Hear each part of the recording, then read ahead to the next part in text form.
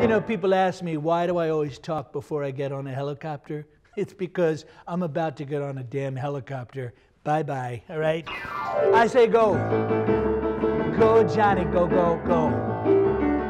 Go, Johnny, go, go.